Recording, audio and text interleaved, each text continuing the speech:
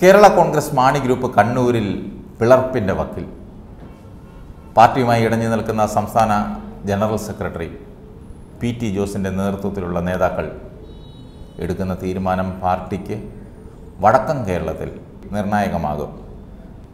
Joseph ഗ്രൂപ്പിൽ നിന്ന് മാത്യു കുന്നപ്പള്ളിയെ അടർത്തിയെടുത്തതുപോലെ മാണി ഗ്രൂപ്പിൽ നിന്നും ഒരു വിഭാഗത്തെ കൊണ്ടുവരാൻ ജേക്കബ് ഗ്രൂപ്പും ജോസഫ് വിഭാഗവും ശ്രമിക്കുന്നതിനിടെയാണ് കണ്ണൂരിലെ പാർട്ടിയിൽ പോര് രൂക്ഷമാകുന്നത്. വിമത നേതാക്കൾക്ക് അർഹമായ സ്ഥാനം നൽകാമെന്ന വാഗ്ദാനവുമായി ബി ജെ പിയും അണിയറയിൽ കരുക്കൾ നീക്കുന്നുണ്ട്. അവരും കസേര മാറ്റിയിട്ടിരിക്കുക. ചെയർമാൻ ജോസ് കെ മാണിയുടെ അവഗണനയാണ് പാർട്ടിക്കുള്ളിൽ എതിർപ്പ് ഉയരാൻ ഇടയാക്കിയത്. പി ടി ജോസ് അടക്കമുള്ള ഒരു വിഭാഗം നേതാക്കൾ അകന്നു നിൽക്കുന്നതാണ് പാർട്ടിയിൽ അസ്വാരസ്യം ഉയരാൻ കാരണം. വിമത വിഭാഗം നേതാക്കൾക്ക് പകരം ജോസഫ് ഗ്രൂപ്പിൽ നിന്നും മറുകണ്ഠം ചാടി വന്ന മാത്യു കുന്നപ്പള്ളിയെ നേതൃത്വത്തിലേക്ക് ഉയർത്താനുള്ള ജോസ് കെ മാണിയുടെ നീക്കത്തിൽ ജില്ലയിലെ മറ്റ് നേതാക്കൾക്കും അതൃപ്തിയാണുള്ളത്. എന്നാൽ മാത്യു കുന്നപ്പള്ളി കളം മാറി ചവിട്ടിയതോടെ ജില്ലയിലെ ജോസഫ് ഗ്രൂപ്പും അല്പം നിർജീവമായിട്ടുണ്ട് ഫലത്തിൽ ഇത് യു ഡി എഫിനെയാണ് പ്രതികൂലമായി ബാധിച്ചത്.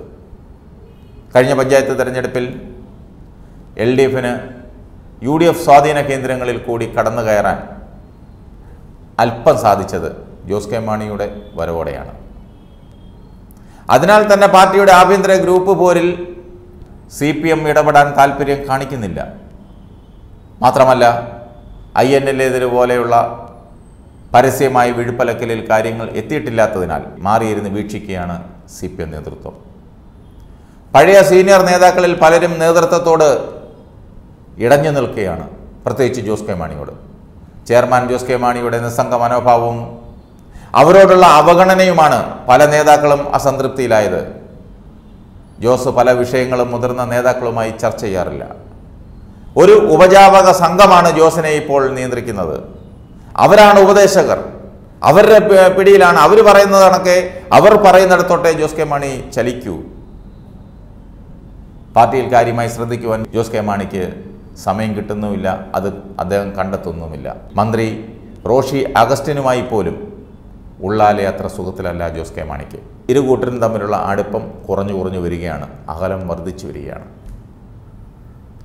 സ്വന്തം വകുപ്പിൽ റോഷിക്ക് മന്ത്രി എന്ന നിലയിൽ സ്വതന്ത്രമായി കാര്യങ്ങളൊന്നും ചെയ്യാൻ സാധിക്കുന്നില്ല. എല്ലാം താൻ അറിഞ്ഞ് ചെയ്താൽ മതിയെന്ന വാക്കാലുള്ള നിർദ്ദേശം ജോസ് കെ മാണി നൽകിയിട്ടുണ്ടെന്നാണ് ഈ ഉപജാപക സംഘം ജോസിനോട് അടുത്ത് നിൽക്കുന്ന ഉപജാപക സംഘം തന്നെ പുറത്തു പറഞ്ഞു നടക്കുന്നത്. അത് ശരിയോ തെറ്റോ എന്നറിയില്ല. അത് അവരുടെ കാര്യം. ഏതായാലും വകുപ്പിൽ ഒരു കാര്യവും നടക്കുന്നില്ല. എന്തിനേറെ? ഒരു പിയൂണിനെ പോലും സ്ഥലം മാറ്റാൻ ഇതുവരെയും കഴിഞ്ഞിട്ടില്ല. വാട്ടർ അതോറിറ്റിയിൽ പാർട്ടിക്കാർ പാരലൽ ഭരണം തുടങ്ങിയെന്നാണ് കേൾക്കുന്നത്. വാളെടുക്കുന്നവനെല്ലാം വെളിച്ചപ്പാടാകുന്നു.